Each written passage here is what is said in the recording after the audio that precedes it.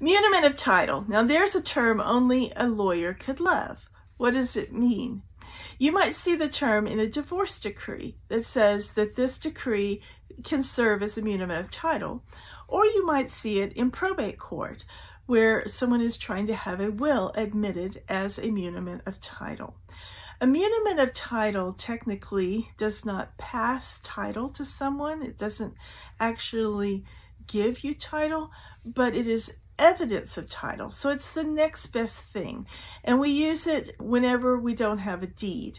So in a divorce, if someone was ordered to convey the property to their ex-spouse as part of the division of property in divorce, but they don't ever sign a deed, you can file the divorce decree itself in the county deed records as evidence of the new ownership.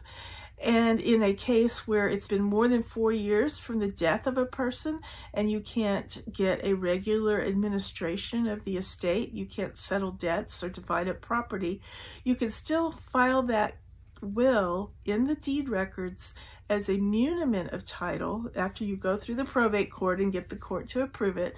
You file a certified copy of the will and a certified copy of the court order admitting the will as a muniment of title as evidence of who the owners of the property are now.